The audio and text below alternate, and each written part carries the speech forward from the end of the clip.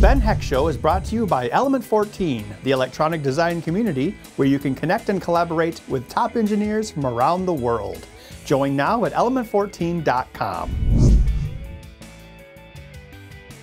Hello and welcome back to the Ben Heck Show. We're getting back to our mini pinball build. Last time we used MATLAB and Simulink to make a simulation of the pinball game. Now I think it's time to move on to some mechanisms. Yeah, can we, Ben? Can we? Yes, that's right. Yes. So what we're gonna do next, we're gonna do actually a couple things at the same time. I'm going to be working on mechanisms. Uh, we're gonna have something that affects the ball, like a pop bumper, something that reacts to the ball, like a target, and then also I need to make the ball loader launcher mechanism to cycle through the states of the game. Okay, so what's the other thing? Well, the other thing is that Felix is going to be working on a new revision of the PCB. We're going to reorient it so that it basically resembles how we want it to be in the actual game. We're going to add some light drivers and some switch drivers and also work on some code. Let's get started. Amazing hacks. Should we take it for a spin? Inspired designs. Imhotep's priests. Regrettable acting. No one seems to get it. Each week, Element 14's The Ben Heck Show brings you innovative projects using electronics, engineering, and more.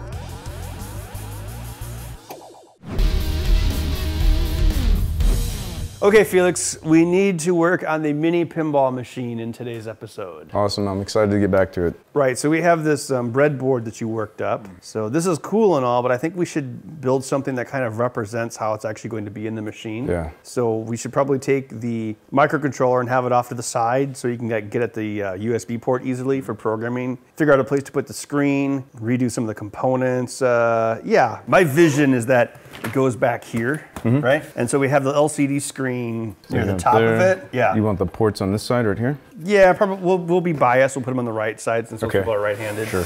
So they can like go whoop, like do the USB. So I would say uh, screen in the center and then enough PCB to get you to the edge. Does that Okay. make sense? Yep. Yeah, and so basically all these same components. Uh, you have how many? You have what six uh, solenoid controls on that? Yes. How about Um, just how many? Four maybe. Okay. Yeah, that'd be good. Because we got flipper, flipper, and then I'm also working on uh, some new mechs. Okay. So I'm thinking maybe you could work on rewiring this board and I can work on some new mechs and then we can just touch base and make sure that the mechs will work with the board and vice versa. Okay. What do you think about um, adding additional headers so that we could potentially swap from the Teensy to an Arduino? Oh, so it could use both? Yeah. Yeah, that's not a bad idea. So have like some headers out here for the Arduino. Yeah. Now the Arduino isn't going to give you the same sound capabilities, but it could still do the logic and drive the LCD at least. Right. And uh, we wanted to have a. This is a five volt system, but we want to have 12 volts going in to control the uh, solenoids. Well, this is probably a 3.3 volt Okay, yeah. microcontroller, actually. Well, we yeah, so a- 12 volt wall wart, All right. and then we'll knock it down to five for this, and then use the 12 for the um, coils. Right. Okay. I think that sounds pretty good.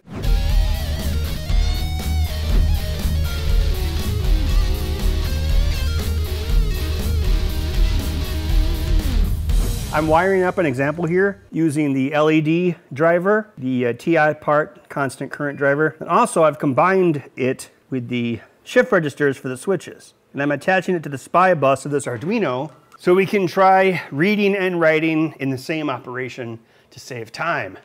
And then if it works on the Arduino, it'll certainly work on the Teensy. So yeah, that's basically what I'm doing. I think the Teensy uses 4-bit mode for its SD card, but it probably has additional SPI buses that we can access. Uh, yeah, so I've got the connections hooked up, so I just need to hook up some test switches and LEDs so we can see if this thing works. Okay, I hooked this up to the Arduino and I ran some test code. I've actually only ever used the SPI bus on the Arduino before when I was doing the uh, SD card stuff. Uh, yeah, but it's pretty straightforward. There's something called SPI transfer value. Now, again, SPI bus, you're sending eight bits and then you're also getting eight bits. So in this case, I'm receiving inputs and transferring value. Now value is just uh, one being clocked through the bits up to 15. Uh, so basically it's just gonna rake through like these 16 lights. And then I should also get 16 bits back. However, it looks like it's operating in 8-bit mode. If you look at the lights here, see how it's going zero to seven and eight to 15. So it's not actually sending a 16-bit value, it's sending two 8-bit values. I've also got these switches coming through on the switch monitor here, and uh, yeah, that looks correct. I have it set to um, five uh, highs and one low. So that pattern is correct. So we can definitely do it. I just have to figure out how to get the um, Arduino library to do a 16-bit SPI transfer. Then once we do that, we should see this go discreetly doot, doot, instead of, you know, having two of them go at once. You can also see like the last one is missing. Well, at least on this side. Uh, yeah, so I got to look for the 16-bit data transfer and then uh, that should give us what we need. And then the libraries here in Arduino will be pretty much the same as they are in Teensy because Teensy is based off Arduino. Well, I think I figured out the problem. I just have to type SPI transfer 16. yeah, okay, so what we're doing here is we're pulsing the latch. And now I, I did actually use two different lines because the light driver is active high or positive rising edge pulse to latch the data, whereas the switches, it's a falling pulse to latch the data. So I actually separated that into two separate uh, pulses right here. So we go from high to low with the LEDs, then we go from low to high with the switch latch. So we do that. And then I did uh, the SPI begin transaction. I don't know if I actually need that. Let's try it without. But then we just do inputs, which is what we want to get, and then SPI transfer 16 value, which is what we want to send. So we're basically, you know, getting the switches at the same time that we uh, send the lights. Super efficient. Okay, so the lights are working. So we're going from zero to 15. Let's see what's going on with the switch input bus. Okay, for some reason it's returning a 32-bit value. See, how it's got eight hex characters there. That's a bit weird. I wonder why it's doing that. We have inputs. I called it a sh oh, pff, unsigned short. Ah, that's weird. That I wonder if that will that make a difference. It did. Weird. So signed or unsigned numbers means can it go negative? So if you have a, um, a short, which is a 16-bit number, it would be able to go from 0 to 65535. However, if it's a signed short, that means its range is negative 32,768 to positive 32,767, around that range. So what's strange about that is, yeah, I don't know why that would make a difference of what we got back. I don't know why. Oh, you know what it probably was? If it's a negative number, it probably rolled over and then created a value which became a 32-bit value. Yeah. so anyway, but by specifying that these are unsigned, positive only numbers, we know exactly what range they're in. We could probably make it work with ints as well, but I prefer to use the exact data size that we're going to uh, actually send. All right, so there we go. We got the uh, switches and the lights working on the same SPI bus. I printed this up. It's a test target. So it has a frame which holds a little switch. Frame can be printed like that. It's using a toothpick for the pivot point. And I have a, uh, a slope here, which is 76 degrees, which is the same slope as the switch in the open position. So when you hit it, see how it rests against the switch like that? So that gives it like a stopping point. So that's how it would fit on the playfield. Okay, that looks like my switch came loose. That's because I was trying to break it. Honestly, my fingers probably have more force than this ball will. Um, I probably need a front stop because otherwise I can go like, that's kind of lame. I can't do that with a piece of wood. I'll have to do it with a piece of plastic. So I'll have to modify this frame design with a little stop here so this switch can't go too far back. Can only go forward like that. Because if I try to do it with wood, I won't be able to actually pull this part out. So yeah, you can't just think about how the mechanism works. You also have to think about how it's assembled. Because if you make something that cannot be assembled, what's the point? All right, I got the new target printed out. Sorry, old target, you are garbage. Well, not really garbage. We have a bucket of 3D printed parts and we take it to shows and stuff and we give the parts away to kids and they're like, oh, cool, free 3D printed parts. But little do they know it's actually just garbage. Yeah, that works pretty well. Look at that. Click, click, click, click, click, click, click, click, click. Cool.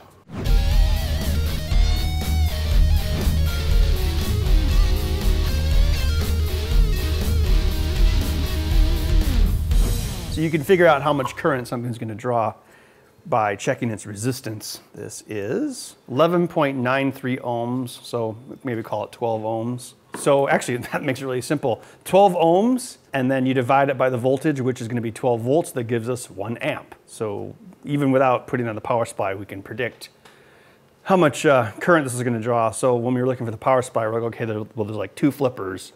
So, you know, one amp, one amp, two amps, and then, you know, throw in another amp for overhead. Also, I mean, if we have another one of these as a pop bumper, that could be up to three amps. Now that's gonna be very short bursts, but there still is a potential that it could be drawing that much current at one time. Uh, so I have this piece of plywood here to represent the playfield because we can't just, you know, look at the distance with it uh, open frame like this. We have to think about the playfield being in the way. See, if it's too far away, the magnetic field cannot capture it. You need to be a little closer for it to be captured. So yeah, so it might look okay at that height, but it's actually too high. So I need to, it needs to start a little bit lower for it to be capturable. Is that a word? Capturable? Hey Karen, could you give me a hand with the measurement? I don't have enough hands to do that. I want you to measure the height of the post off the wood. So we need to figure out what distance is correct. Measure that. All right, let's try it with the caliper in place. Okay, 0.9 is a nice even number. Okay, we can go with that. I did a bunch of drawings and tried to figure out the best way to make a pop bumper through six millimeters of plywood. I drew the base solenoid there, then I drew the rod, and the position of this rod with the wood is the um, throw distance that we uh, tested before. If we inspect the surfaces, we can get a distance here. It's about 0.8 inches. So I drew a representation of the spring, and the spring rests up against the hole in the rod. I Also drew a reference of the rod in its down position just to check. Now here's the important part. This is the bracket. It. Now the bracket sits just above the solenoid here and just below the playfield. Now the reason it has to fit below the playfield is when the thing is going spring, spring, spring, it's going to pull against the bottom of the bracket, which means it has to be on the other side of the wood. If we just tried to press fit it in place, it would just pop out. So our rod fits in there. And then we needed an actuator to actually uh, move the ball around. So I drew this as a temp. Uh, it probably needs to be a little bit bigger, but it has a hole in the front where we can stick a rod through to hold the other rod to make it uh, stay put. Then there's gonna be a little cap on top, just, uh, you know, just, just for testing purposes. This will be a little bigger. It'll probably actually have some uh, latching tabs in it when we actually draw it for real, but this is enough to test. Yeah, so we have a uh, 45 degree angle on this, so if this comes down on the ball, it should shoot it out sideways. Uh, now there's not a whole lot of throw to this. I think we'll get about uh, 0.4226 inches of movement, so it'll be about like, not quite half an inch, like bam, bam, like that. what I think we can do to make up for that is if we make this disc extend out a little bit further in this direction, that will give it a, uh, basically give a wider angle to hit the ball. We still need a way to trigger this. Uh, like how do we know the ball's actually there? That's another issue we have to solve. But let's get the um, bam bam spring action working first. Then we'll figure out the rest later. Okay, I got my 3D printed parts printed. Let's see how they work. So let's put this one into the ring thing here. I'll use this very scientific toothpick to hold it in place. That will stay in place until the pyramids are dust. Now the spring goes underneath that. That goes in here. And this cap keeps it from popping off. Uh, I don't have a piece of plywood at the moment, but that's not a big deal.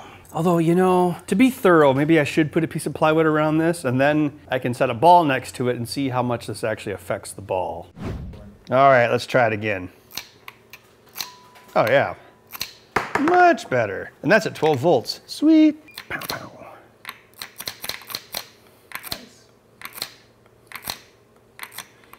Okay, so mechanically it works. Now the real question is, how do we trigger it? yeah, I mean, this, this is all pretty solid. I mean, I think I can simplify this part. I mean, it's, oh, actually, actually, it's not that many pieces. It's a frame, a cap, and an actuator disc. So if I can get that to print in one piece, then it's still just cap, actuator, frame. Oh, well, there will need to be a mount. See, I just have this glued in place. So we'll have another mount, probably made, made of metal on the, on the uh, solenoid, which will go like here, right? Okay, here's a pop bumper from a full-size pinball machine. And there's a disc here, and when the ball touches it, it moves this spoon, and see, any direction will actually trigger it. And the spoon closes this switch, and then it's like bam, bam, bam. But as you can see, the solenoid is below everything in one of these. But this, there's a lot of pieces to this, and this is actually a, a simpler pop bumper. The Williams style are even more complicated. The thing that is nice about these, some people don't like them because they're just one piece of plastic, but you just buy this and everything is already lined up. Like you don't have to align the spoon to the tilt bob here. It's, it's pretty easy. So we've kind of built an inverted pop bumper really. You know, I like, I like the simplicity of this. The question is, how do we detect?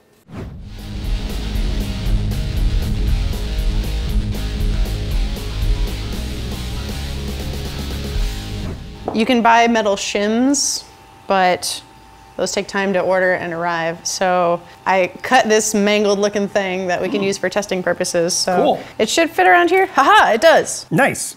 And I am reprinting portion of this actuator thing so we can inlay one of these brass rods and make it into a ring. Cool. To make both halves of our design. So that's just like, you know, what we can do with hardware store parts while we wait for other things. And you said we need the ring around the top and then the disc around the bottom because you need two To complete points to complete a circuit. That makes sense.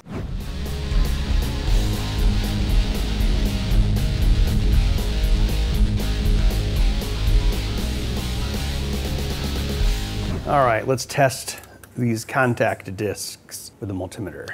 Okay, it's beeping. That's good. I turned off the beep continuity because beep continuity requires a very low resistance. So I'm to just look for any conductivity. I think that's actually working better than it appears through the beeps. If we hook this up to like an Arduino or something, we should get a pretty good response. We could also test it on the oscilloscope, but that's probably overkill.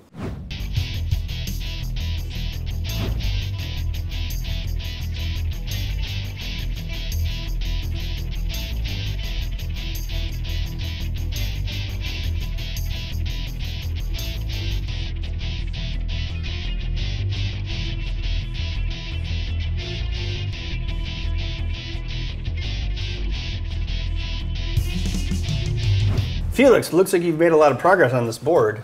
Serial input switches and the light driver are both in place. Wiring looks nice and neat. Yeah, I uh, put a lot of effort in making it not shabby. That's good. And you say you have the uh, MOSFETs hooked up to the analog lines? Yep, lines? analog five, four, three, two, one. It Okay. actually, And do you have a uh, Yeah. diode on this? yep, it goes Okay. five, four, three, two, one. This All right. is So what we could do in the code is we could basically look to see if one of these bits changes on the switch line, and then we could use that to trigger the solenoid, and we could use that to test our pop bumper. yep. Cool.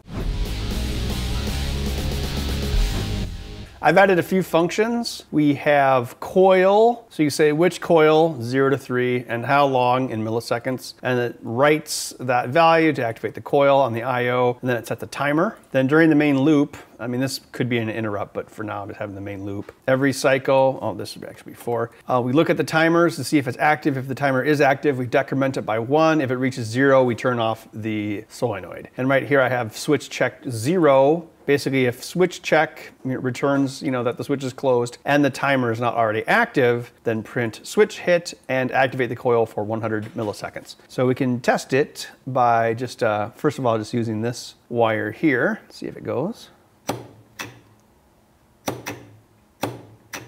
Let's plug in our uh, ring test and uh, see what happens. It should repel it away and open the switch.